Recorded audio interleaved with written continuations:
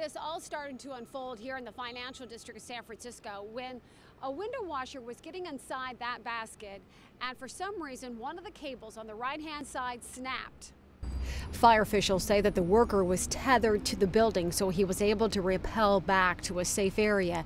However, the rig was left dangling on the side of one Embarcadero on the 41st floor. These two construction workers were down on the ground and met up with the worker as he ran for help. It's crazy. We were, we were working on the stairs below, and the guy told us that uh, to get out from underneath, and then we looked up and they, they blocked off the street.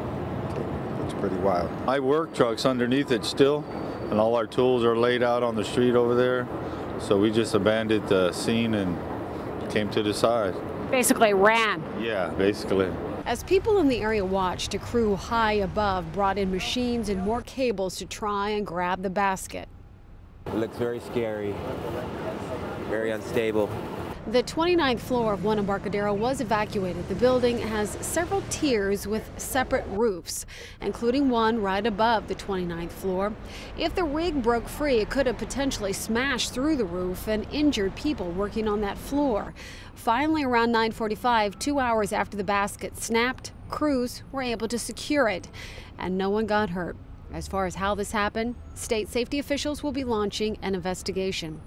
In San Francisco, Terisa Estacio, KRON 4 News.